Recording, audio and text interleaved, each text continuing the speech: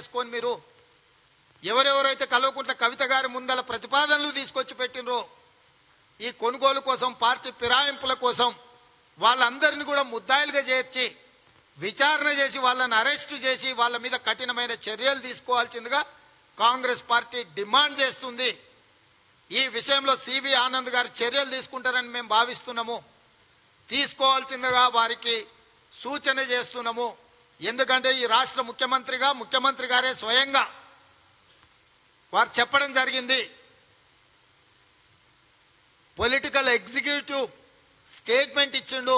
మా పార్టీ శాసన మండలి సభ్యురాలని భారతీయ జనతా పార్టీ వాళ్ళు కొనుగోలు చేయడానికి ప్రయత్నం చేసిండు అని అదేవిధంగా స్వయంగా కల్వకుంట్ల కవిత గారే ఈరోజు స్టేట్మెంట్ ఇచ్చారు. ఎస్ భారతీయ జనతా పార్టీ నాయకులు నన్ను సంప్రదించిన పార్టీ ఫిరాయింపులు పార్టీ కొనుగోలకు అని చెప్పి స్టేట్మెంట్ ఇచ్చింది కాబట్టి తక్షణమే అధికారి గారు కల్వకుంట్ల కవిత గారి యొక్క స్టేట్మెంట్ సూమోటో కింద తీసుకొని వారి స్టేట్మెంట్ రికార్డ్ చేసి సంబంధిత వ్యక్తుల అందరి మీద కూడా చర్యలు తీసుకోవాల్సిందిగా కాంగ్రెస్ పార్టీ డిమాండ్ చేస్తుంది. ఈ రెండు వ్యవహారాలను ఈడీ ఇన్కమ్ ట్యాక్స్ సిబిఐని కేంద్ర ప్రభుత్వం పోలీసు ఏసీబీ స్టేట్ జిఎస్టీని రాష్ట్ర ప్రభుత్వం వినియోగించడం ద్వారా ఈ రాష్ట్రంలో ఎవరు స్వేచ్ఛగా నిద్రపోలేని పరిస్థితులు ఉన్నాయి. నేను ఈరోజు వ్యాపార సంస్థలకు యజమానులకు తెలంగాణ సమాజంలో ఉన్న వ్యక్తులకు నేను గుర్తు చేస్తున్నా. రెండు వేల నాలుగు నుంచి రెండు వేల పద్నాలుగు వరకు కాంగ్రెస్ పార్టీ అధికారంలో ఉన్నప్పుడు ఏ వ్యాపార సంస్థలను వేధింపులకు పాల్పడలేదు. ఏ రాజకీయ పార్టీలతో ఎవరున్నా ఏ రాజకీయ పార్టీలలో ఎవరు ఉన్నా పార్టీలు మారిన వ్యక్తులను కూడా ఎప్పుడు మా ప్రభుత్వం వేధింపులకు పాల్పడలేదు. అట్లాంటిది ఇవాళ ఇష్టారాజ్యంగా ప్రజాప్రతినిధులను పశువుల కంటే హీనంగా వ్యవహరిస్తూ ఈరోజు మీకు నచ్చకపోతే ఇక వాళ్ళను తుదముట్టించే వరకు మేము వదలము అన్నట్టుగా ఈ రెండు ప్రభుత్వాలు చేస్తున్న ప్రయత్నాలతోటి ప్రజా సమస్యలన్నీ కూడా పక్కదారి పట్టినాయి. ఈరోజు ఈ రాష్ట్రంలో ఒడ్లు పంట చేతికి వచ్చింది కొనుగోలు చేసేటోళ్ళు లేరు. అమ్ముతే మిల్లర్లు లేకపోతే ఐకేపీ కేంద్రాలలో పట్టి ఇస్తలేరు. ఎంత కొన్నా ఎంత తీసుకొచ్చి జోకిండ్రు ఎంత తుట్టి తీసిండ్రు ఎంత ఇచ్చిండ్రు అనే పట్టి ఇస్తలేరు పట్టిస్తే తూకం తుట్టి తీస్తే దాని మీద క్రిమినల్ కేసులు పెట్టొచ్చు కాబట్టి ఈరోజు కొనుగోలు కేంద్రాలలో రైతులు అమ్ముకున్న వడ్లకు పట్టీలు ఇవ్వడం లేదు. ఎంత అమ్మిండ్రు ఎంత అనేది. ఇవాళ అమ్ముకున్న తర్వాత వాళ్ళకు సరైన సమయంలో వాళ్ళ పేమెంట్స్ వస్తలేవు.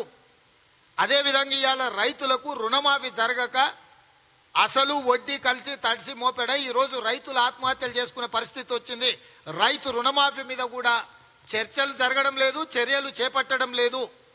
అదేవిధంగా బీసీలకు సంబంధించి కూడా ఓబీసీలకు సంబంధించి కూడా బీసీ జనగణన చేయాలనే చర్చ ఎప్పటి నుంచో ఉంది. మేము పదే పదే అంశాలను లేవనెత్తినాం. రేపు పార్లమెంట్లో ఈ అంశాల మీద కాంగ్రెస్ పార్టీ పట్టుబడదామంటే స్థానికంగా ఈ అంశాల మీద చర్చ చేద్దామంటే కూడా చర్చ చేయలేనంత దుర్భరమైన పరిస్థితులు వచ్చినాయి.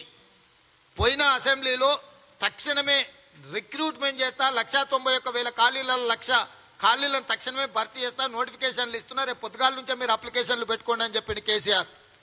అయిపోయి చాలా నెలలైంది. అడప దడప అప్పుడప్పుడు నోటిఫికేషన్లు ఇచ్చిన ఏ ఒక్క రిక్రూట్మెంట్ జరగలే. రాష్ట్ర ప్రభుత్వంలో ఖాళీలుగా ఉన్న లక్షా తొంభై ఒక్క వేల ప్రభుత్వ ఉద్యోగాల ఖాళీల భర్తీ మీద మాట్లాడేవాడు లేడు చర్యలు తీసుకునేవాడు లేడు. ఒకవేళ ఎవడన్నా నిరసనలో ధర్నాలు చేస్తే మీడియాలో పేపర్లలో టీవీలలో ఇట్లాంటి చిల్లర వివాదాస్పదమైన అంశాలే ప్రాధాన్యత సంతరించుకుంటున్నాయి. ఈ అంశాలు ఏవి కూడా చర్చకొచ్చే పరిస్థితి లేదు. తెలంగాణ సమాజం ఎదుర్కొంటున్న తీవ్రమైన సమస్యలు అది పోడు భూమి సమస్య కావచ్చు రైతు రుణమాఫీ కావచ్చు వడ్ల కొనుగోలు కావచ్చు నిరుద్యోగ సమస్య కావచ్చు డబుల్ బెడ్రూమ్ ఇండ్ల సమస్య కావచ్చు ఫీజు రియంబర్స్మెంట్ కావచ్చు నిరుద్యోగ భృతి కావచ్చు.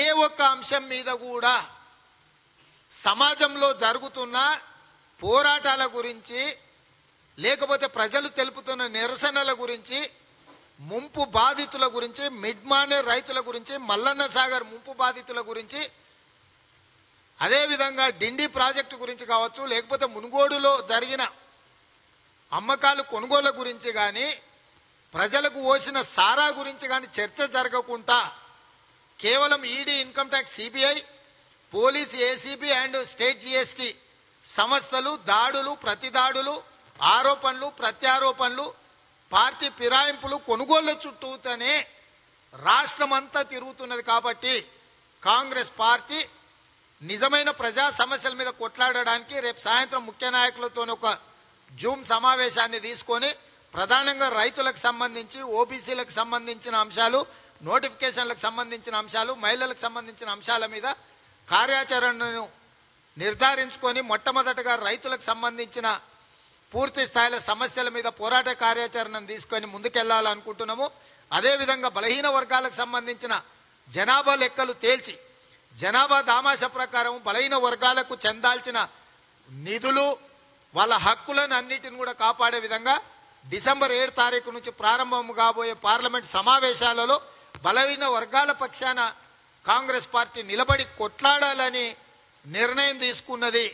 ఈ కార్యాచరణతో ముందుకెళ్ళదలుచుకున్నాం మీడియా మిత్రులకు కూడా నేను విజ్ఞప్తి చేస్తున్నా ఈ చిల్లర పంచాయతీలు లేకి పంచాయతీలు జుగుప్సాకరమైన చర్యలను మాటలను పక్కన పెట్టి కొంత ప్రజా సమస్యల మీద కూడా మన సామాజిక బాధ్యతను చూపిద్దాం బాధ్యత తీసుకుందామని చెప్పి మీడియా మిత్రులందరికీ కూడా నేను విజ్ఞప్తి చేస్తున్నా.